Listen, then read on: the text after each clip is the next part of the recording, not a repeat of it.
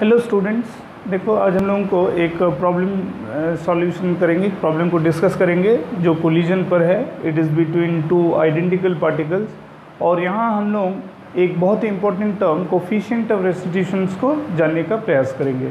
तो यहाँ कंडीशंस मान लो गिवन कंडीशन दिया है इस तरह से कि दो आइडेंटिकल पार्टिकल है, दोनों का mass M each out of which one is suppose identified as particle 1 another one is identified as particle 2 तो particle 1 का given velocity v naught है towards the particle 2 whereas the second particle is at rest और given information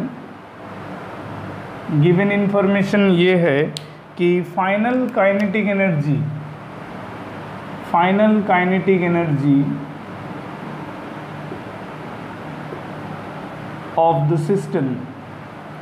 Final kinetic energy of the system is three fourth of the initial kinetic energy. ठीक है? System का जो initial kinetic energy है, उसका three fourth energy becomes the final kinetic energy of the system तो तब हमें बताना है कि इन दोनों के बीच में जो कोलिजन होगा उस कोलिजन में ई का वैल्यू क्या है? That is coefficient of restitution का वैल्यू हम लोगों को निकालना है। तो देखो, यहाँ जो बेसिक चीज़ हम लोग कोलिजन के बारे में जानते हैं, उसमें इतना तो ज़रूर जानते होंगे कि कोई भी कोलिजन हो, चाहे दो आइडेंटिकल पार्टिकल हो या दो डिसमिलर पार्टिकल्स हो पार्टिकल्स का कोलिजन का मतलब ही हुआ कि वहाँ लीनियर मोमेंटम का कंजर्वेशन प्रिंसिपल लेना है, ठीक है? पहला पॉइंट तो जब भी हम लोग कंजर्वेशन ऑफ़ लीनियर मोमेंटम लेंगे तो वहाँ क्या होता है? वहाँ जनरल टू पार्टिकल सिस्टम में क्या होता है बोलो? फार्मूला बोलो? M one U one plus M two U two equals to M one V one plus M two V two तो यहाँ M one is equal to M two है. M तो चलो, दो टर्म की जगह मैं एक ही टर्म एम यूज़ कर सकूँगा both for M one as well as for M two fine but U one U two and V one V two ये चार टर्म में मुझे पहला दो टर्म के बारे में पता है। U one is about the initial velocity of the first particle which is given V naught and U two is the initial velocity of the second particle which is given zero but I do not know about V one and V two तो यानी कि दो unknown parameters तो साफ़ साफ़ यहाँ पता चल रहा है in terms of V one and V two तो दो अननोन है और यहाँ एक और रिलेशन दिया है। ये रिलेशन अगर kinetic energy of the system का है तो देखो काइनेटिक एनर्जी बिफोर कोलिजन जो है, वहाँ दोनों पार्टिकल का काइनेटिक एनर्जी एक्सप्रेशन क्या होता है? किसी भी इंडिविजुअल पार्टिकल के लिए हाफ़ एम वी स्क्वायर तो हाफ़ एम वी स्क्वायर के हिसाब से इसका काइनेटिक एनर्जी पता है। सेकेंड पार्टिकल का तो कोई काइनेटिक एनर्जी है ही नहीं। यानी कि जो फ़र्स्ट पार्टिकल का काइनेटिक एनर्जी है, वही पूरा सिस्टम का काइनेटिक एनर्जी है। जबकि आफ्टर कोलिजन दोनों पार्टिकल का ही अगर कुछ वेलोसिटी होगा तो यानी कि दोनों पार्टिकल का ही काइनेटिक एनर्जी अवेलेबल होगा।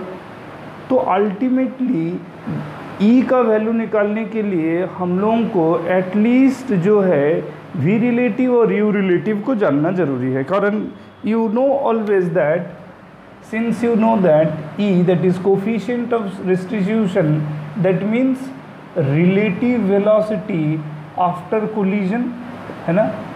Relative velocity after collision by relative velocity before collision इसी को फॉर्मूला में लिखते हो ना कि v2 two minus V one by U one minus U two यही फार्मूला वाइज आता है।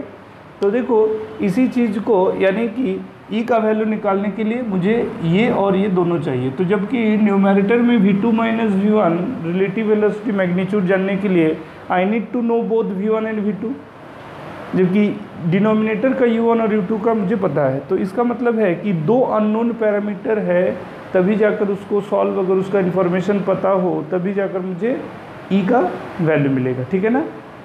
फाइव अब देखो हम लोग यहाँ दो बात करेंगे। पहला तो है कि conservation of linear momentum conservation of linear momentum ठीक है ना?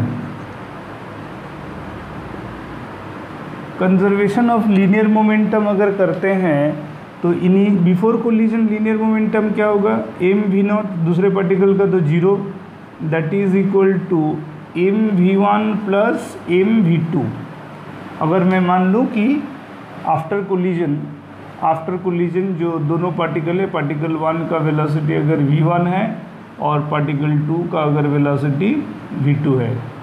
ठीक है ना? ये आफ्टर कोलिजन का बात मैं कर रहा हूँ। तो यहाँ से यहाँ से हम लोग लिख सकते हैं कि this implies that V naught can be written as V one plus V two इसको इक्वेशन वन बना सकते हैं। ठीक है ना? Clear again since another relation is given again ये जो हमने रिलेशन लिखा, उस रिलेशन के अकॉर्डिंग मैं लिख सकता हूँ since E is equal to V2 minus V one by V naught E one की जगह वी नॉट लिखा यू टू तो ज़ीरो है। तो यहाँ से मैं एक और रिलेशन लिख सकता हूँ that is E V naught is equal to V two minus V one इसको मैं सेकेंड इक्वेशन लिख सकता हूँ। तो यानी कि दो अननोन वी वन और वी टू को जानने के लिए मेरे पास दो इक्वेशन बन गया। अब मैं थर्ड रिलेशन को यूज़ कर सकता हूँ, जो रिलेटेड टू एनर्जी कंजर्वेशन है। Since it is given that K E final है ना? K E final is equal to three fourth of K E initial तो इसको सिंप्लीफाई अगर करते हैं तो ये बनेगा देखो M by two half M तो कॉमन हो जाएगा दोनों के लिए. That is V one square plus V two square ये फाइनल काइनेटिक एनर्जी एक्सप्रेशन हो गया. That is equal to three fourth of half M V naught square जो कि the kinetic energy of the first particle है before collision ठीक है ना? अब यहाँ से straightaway M by two तो कैंसिल कर सकते हैं। तो यहाँ देखो, मुझे इस रिलेशन में अगर मैं यहाँ से इक्वेशन वन और इक्वेशन टू को सॉल्व करके इस इक्वेशन थ्री में अगर सब्सटीट्यूट कर दूँ तो यहाँ से मुझे ये मिल सकता है। तो मैं क्या कर सकता हूँ, देखो, ध्यान से equation one plus equation two अगर करता हूँ equation one plus equation two करता हूँ तो वी वन कट जाएगा प्लस वी वन और यहाँ माइनस वी वन। तो क्या बनता है? टू वी टू बराबर E plus one into V naught. ठीक है ना? यानी कि वी टू का वैल्यू मिल गया।